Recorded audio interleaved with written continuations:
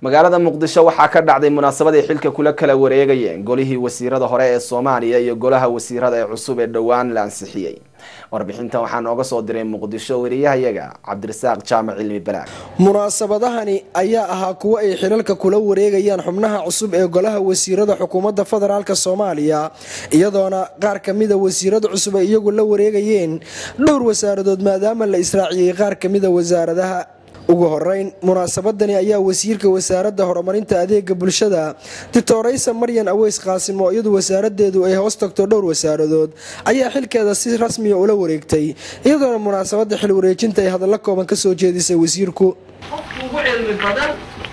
Aniga iga buuxdo hogaamiyaal iga fiicanaa buuxo sideedaba xilka waa waa wareegayaa aniga maanta nasiibkaygay noqotay qofka dadka ugu ma ihi laakiin nasiibkaygay noqotay.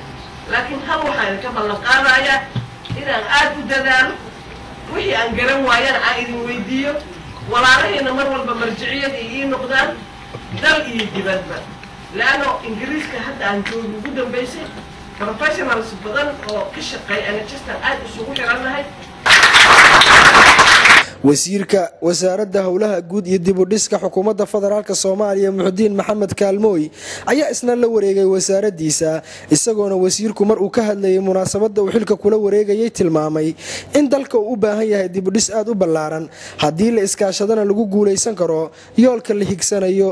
Laakiin waxaan ku kalsoonahay soomaaliya markeedii horeba wixii maal iyo maskax iyo muruq leheeda isugu geysay dalkeeda u dhisato iska u qabso mabda la yidhahda ayay ku dhisatay haddii hadda waxaan iska burburinay muddo ka badan labaatan sanana aan burburin maahane aan dhismaba aana ku jirno waxayni aan burburinay. Dib u dhisideedan anaga inoo taalla. Maxaan ku yidhahdaa inaan isugu geyno wixii maskaxa wixii maala iyo wixii muruqa inaan isugu geyno soomaalida dibadda joogto ha noqoto ama kuwa gudaha joogto ha noqoto shacbi iyo dowladd inaan iskaashanno dalkeenaan dib u dhisanno. Caqabado iyo carqalado iyo mashaakilla way jiraan laakiin waa xalisan karnaa. Waa xalisan karnaa maaragtay haddaan iskaashi iyo dadaal iyo isu naseexayn haddaan muujinno waxaasoo dhan wax la islaaxin kara waa ra'iisul wasaare ku-xigeen ahna wasiirka arrimaha dibadda marwa fawsiyo yuusuf xaaji aadan ayaa iyana munaasabad ballaaran oo lagu qabtay xarunta wasaaradda arrimaha dibadda ee magaalada muqdisho. Waxa ay si toosa ula wareegtay xafiiskeeda iyadoona xil wareejinta ka hor uu wasiirkii hore ee wasaaradda arrimaha dibadda uu wasiirka cusub u faahfaahiyey. Sharaxaadna ka siiyey xaalka wasaaradda iyo shaqaalaha ka howlgala iyadoona intaa kadib ra'iisul wasaare ku-xigeen ahna wasiirka arrimaha dibadda fawsiyo yuusuf xaaji aadan ay u mahad celisay dhammaan shaqaalihii wasaaradda arrimaha dibadda oo ay sheegtay inay xilli adag soo shaqeeyeen ballanna qaaday inay wax badan qaban doonto. Hawshan maanta uu wasiir cabdilaahi igu soo wareejiyey ma aha hawl sahlan. Waxa aan mahadnaq badan ka siinaya wakhtigaa adag ee uu soo maray ee dalku marayey iyo hawshii dadaalka uu ka geystay. Waxaa weeye waxaa weeye riiley laysu wada dhiidhiibayo. Marba qof baa soo waday marbay magaalada ololaysay marbay ka sii darayd marbay ladnayd.